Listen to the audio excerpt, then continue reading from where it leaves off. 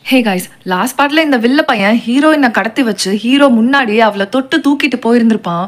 அவளை காப்பாத்துறதுக்காக ஹீரோவும் அந்த வில்லனோட இடத்துக்கே போய் ஹீரோயினை தூக்கணும்னு நினைக்கிறான். ஆனால் அவன் போகிறதுக்குள்ளே இந்த வில்லன் ஹீரோயினை என்னென்னலாம் பண்ண போகிறான் அப்படின்றது தெரியல. ஸோ எல்லாத்தையுமே இந்த பாட்டில் நம்ம பார்த்துருவோம் அதுக்கு முன்னாடி இன்னும் நம்ம சேனலில் சப்ஸ்கிரைப் பண்ணாமல் இருந்தீங்கன்னா மறக்காமல் சப்ஸ்கிரைப் பண்ணிட்டு பக்கத்தில் இருக்க நோட்டிஃபிகேஷன் பட்டனையும் தட்டி விட்டுக்கோங்க. Welcome to love tent and all keep you entertained heroine மயக்கமாக இருக்கும் போதே அவளுக்கு அழகாக மேக்கப் பண்ணி விட்டு ட்ரெஸ் பண்ணி விட்டு ரொம்ப ப்ரிப்பேர்டாக வச்சுருக்காங்க. வேற எதுக்கு? இந்த வில்ல பையன் அவளை ஏதாச்சும் பண்றதுக்கு தான். நீ இங்க இருக்கும்போது அப்படியே ராயலா ட்ரீட் பண்ண வேண்டி எப்பவுமே நீ என் கண்ணுக்கு அழகாவே தெரிஞ்சுட்டே இருக்கணும். பா பரவாயில்ல. நீ என்னமோன்னு நினச்சண்டி ஆனால் பரவாயில்ல. வேற லெவலில் இருக்க அப்படின்னு சொல்லிட்டு கிஸ் பண்ணலாம் அவன் பக்கத்தில் போகும்போது கரெக்டாக ஹீரோயின் கண்ணு முழிச்சிடுறா.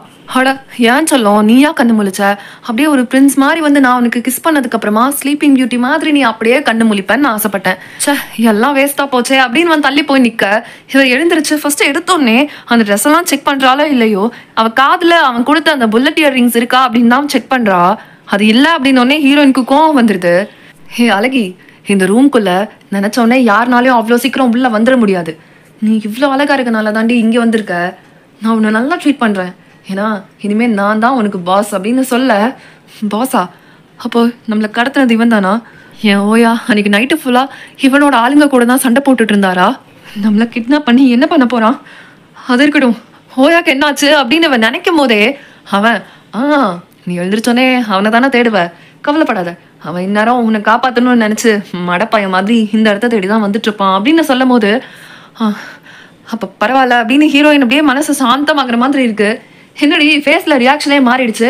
ஓ அவன் எப்படியும் இங்கே வந்து என்கிட்ட சண்டை போட்டு உன்னை காப்பாற்றிட்டு போயிடுவான்ற அளவுக்கு உனக்கு தைரியம் இருக்கா?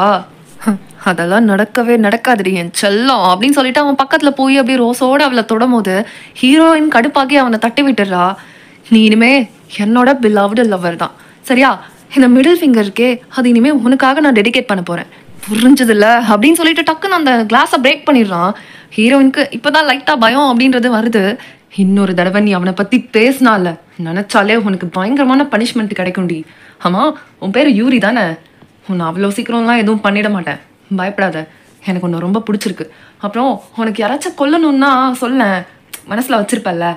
இவன் அப்படியே போட்டுட்டா செம்மையாக இருக்கும் அப்படின்னு. அந்த மாதிரி யாராச்சும் என்கிட்ட சொல்லு. உனக்காக நான் அவங்கள போட்டுடுறேன் அப்படின்னு சொல்ல இவளோட மனசுக்குள்ள சை என்ன பேசுறான்னு தெரிஞ்சுட்டு தான் பேசுறானா? என்னை பார்த்தாலே தெரிய வேண்டாமா? அவனுக்கு அவன் பேசுறது எனக்கு பிடிக்கலன்னு. எனக்கு வாமிட் வர மாதிரி இருக்கு. இது அவன்கிட்ட சத்தமாக சொல்லணும்னு தோணுது. ஆனால் சை சத்தமாகவும் சொல்ல முடியல. நான் ஒரு ஸ்ட்ராங்கான உமனாக இருக்கணும்னு ஆசைப்படுறேன்.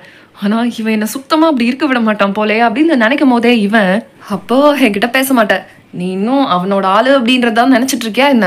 மாஃபியாவோட ஆளுனா எப்படி இருக்கணும் தெரியுமா? அப்படின்னும் போதே பக்கத்தில் அந்த பொண்ணு வந்து நீயா மாஃபியாவை லவ் பண்ண? அப்படின்னும் போது இன்னொருத்தி பச்சை குழந்தை அப்படின்னு கிண்டல் அடிச்சிட்டு இருக்காங்க. நீ அழகா இருக்கடி அழகான பூ. ஆனால் என்ன ஜஸ்ட் ஒரு பட்டு அவ்வளோதான் உனக்கு இன்னும் சில விஷயங்கள் முழுசாக புரியல. அது எல்லாத்தையும் ஒன்று ஒன்றா ஸ்டெப் பை ஸ்டெப்பாக நான் கற்றுக் கொடுக்குறேன்.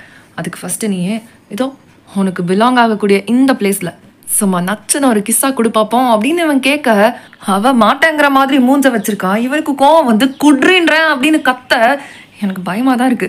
ஆனா என்ன தைரியம் இருந்தா என்னோட ஓயாக்கு நான் செட் ஆக மாட்டேன். நான் ஒரு மாஃபியாவோட லவரா இருக்க தகுதி இல்லைன்னு சொல்லுவானுங்க.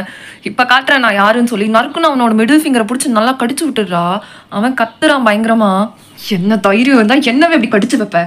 நான் யாருன்னு காட்டுறேன்டி அப்படின்னு அவன் பக்கத்துல வரவும் என்னை தொடாதடா. நான் என் பாடி எல்லாமே ஓயாக்கு மட்டும்தான் சொன்னோம். போயிரு பேசாமன்னு சொல்ல. பண்ணுறதையும் பண்ணிட்டு பேச்ச பார்த்தியா இது பனிஷ்மெண்ட் டைம் டி அப்படின்னு சொல்லிட்டு டக்குன்னு அவளை சாச்சு. நான் உன்கிட்ட ஜென்டலாக நடந்துக்கணும்னு நினச்சேன்டி ஆனால் நீ பண்ணுற வேலை இருக்கே. இனிமே உன்கிட்ட அந்த பொறுமை எல்லாம் காட்டிட்டு இருக்க மாட்டேன் அப்படின்னு சொல்லி ஹராஸ் பண்ண ஆரம்பிக்கணும்னு நினைக்கும் போதே கரெக்டாக டோர் ஓப்பன் பண்ணிட்டு ஓயா வந்து நிற்கிறான் கையில் ஒரு சரக்கு பாட்டிலோட ரெண்டு கிளாஸையும் வச்சுட்டு இவன் என்னடா துப்பாக்கியை தூக்கிட்டு வராமல் இப்படி சரக்கு தூக்கிட்டு வந்திருக்கானே? அப்படின்னு சொல்லி எல்லாருக்குமே குழப்பமா தான் இருக்குது செமலியோ நான் வந்துட்டேன். நீ என்னதானே பார்க்கணும்னு சொன்ன? வா உன்னோட ஆசையெல்லாம் நான் தீர்த்து வைக்கிறேன் அப்படின்னு சொல்லும் போது ஏண்டா உன் லவ்வரை கடத்திட்டாங்க அப்படிங்கிற மாதிரியாடா உன் மூஞ்சிருக்கு நான் எப்படிடா நம்புறதுன்னு கேட்க டேய் கோவம் வந்துச்சு தான் ஆனால் இதெல்லாம் பண்ணா நீ ஓகே ஆகிடுவேன் அப்படின்னும் போது நான் எதுக்குடா அவன்கிட்ட கோவப்பட்டுட்டு? வா உனக்கு என்னென்ன வேணுமோ கேளு. நான் பேசுறதுக்கு ரெடி தான் அப்படின்னும் போது என்ன சரக்குல எதுவும் கலந்து வச்சிருக்கியா? என்னை பார்த்தா முட்டா பையன் மாதிரி இருக்கான்னு சொல்லிட்டு கன் எடுத்து மேலே ஷூட் பண்ணவும் எல்லாருமே பயந்துடுறாங்க. பட் ஹீரோ ரொம்ப கூலாக இருக்கான்.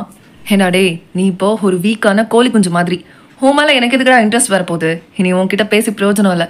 எனக்கு புதுசாக இதோ இங்கே இருக்கே இந்த ஆசை வளர்ந்துருக்கு. அப்புறம் உன்கிட்ட ஒன்று காட்டணும் அப்படின்னு சொல்லிட்டு அவன் ஃபிங்கரை காட்டி பார்த்தியா உன் பழைய லவ்வர் அதான்டா என்னோட புது லவ்வர் என்னோட லவர் ஆகிட்டா அப்படின்ற அடையாளத்துக்காக எனக்கு ஒரு ரெட் ரிங்கு கொடுத்துருக்கா பாரு அப்படின்னு சொல்லி அவன் கடிச்சு வச்சதை காட்டவும் இவனுக்கு அப்போ லைட்டாக கோவம் வரதான் செய்யுது. ஆனாலும் ஒன்றும் சொல்லலை. ஹீரோயின் அவன் எதுவும் தப்பாக நினச்சிடக்கூடாதுன்றதுக்காக ஓயா இல்லை அவன் உன்னை குழப்பிட்டு இருக்கான். அந்த மாதிரி எல்லாம் எதுவும் நடக்கல அப்படின்னு சொல்ல சொல்லவே ஹீரோக்கு பொறாம அப்படியே பொங்கி வலியுது. டே உன் கோவமான மூஞ்ச பார்க்கறத விட இந்த மாதிரி நீ ஜெலஸா வச்சிருக்க பாத்தியா? இந்த மூஞ்ச பார்க்க எனக்கு இவ்வளோ சந்தோஷமா இருக்கு தெரியுமா? அப்படின்னும் போதே ஹீரோ இவனை பார்த்து நடக்க ஆரம்பிச்சிடுறான். இப்போ நீ என்ன பண்ணிட்டு இருக்கேன்னு தெரிஞ்சுதான் பண்றையாடா? அப்படின்னு சொல்லிட்டு ஹீரோவை பார்த்து ஷூட் பண்றான். பட் ஹீரோ மேலே ஷூட் பண்ணல. இதுக்கெல்லாம் பயப்படாம ஹீரோ நேரா யூரிக்கிட்ட வந்து அவனோட கோட்டை கழட்டி அவளுக்கு கவர் பண்ணிவிட்டு எனக்கு புரியுதா என் ஆள் எவ்வளோ அழகு தெரியுமா?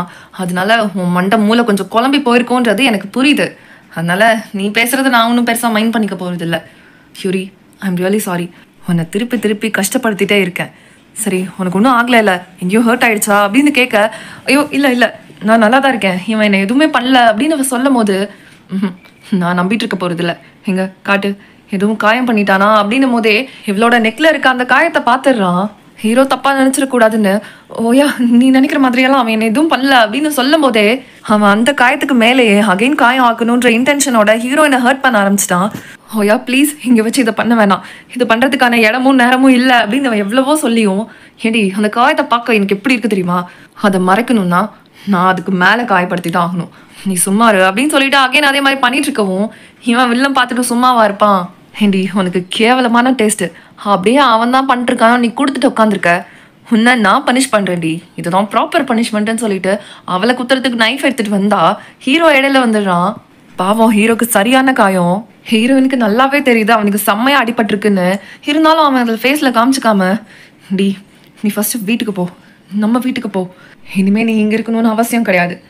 நான் இந்த பிரச்சனையை பேசி முடிச்சுட்டு வரேன். ப்ளீஸ் அப்படின்னும் போது ஹீரோயின் முழிக்கிறா. ஏன்னா ஒரு விஸ்கியை எடுத்துட்டு வந்து அதை ஊற்றி கொடுத்து என்ன கூல் பண்ணிடணும்னு நினச்சிட்டு இருக்கியா? அதுக்கு எப்படி நான் ஒத்துப்பேன்னு ஃபர்ஸ்ட் நீ யோசிக்கிற? அப்படின்னும் போது அது சாதாரண விஸ்கி இல்லை. நீ பிறந்த வருஷத்துல மேக் பண்ணது. கண்டிப்பா உனக்கு பிடிக்கும். அதான் நீ என் கூட தானே பேசணும்னு சொன்ன. நான் வந்துட்டேன். அவளை விட்டுருவோம் அப்படின்னு சொல்ல இவனும் சரி ஓகே பேசிதான் பார்ப்போமே அப்படின்ற மாதிரி நினைச்ச முடிவுக்கு வந்த உடனே ஹீரோ கிட்ட ஹீரோயின் ஓயா அடி ரொம்ப பட்டுருச்சா? அப்படின்னு கேட்க டி ஃபர்ஸ்ட் நான் உன்னை கிளம்புன்னு சொன்னேன். நம்ம வீட்டுக்கு போ. ஒரு வேளை நான் உயிரோட இருந்தேன்னா கண்டிப்பா முதல் வேலையா நான் உன்னை தான் பார்க்க வருவேன் அப்படின்னு சொல்லும் போதே டெசிஷன் மேக் பண்றதுக்கு கஷ்டமா இருந்தாலும் லாஸ்ட் டைம் மாதிரி ஹீரோ ஒன்றும் போய் சொல்லிட்டு போக போறது இல்லையே. உயிரோட இருந்தா திருப்பி வரேன்னு தானே சொல்றான். நம்மள ப்ரொடெக்ட் பண்ணணுன்றதுக்காக தானே இவ்வளோ தூரம் அவன் போராடுறான்.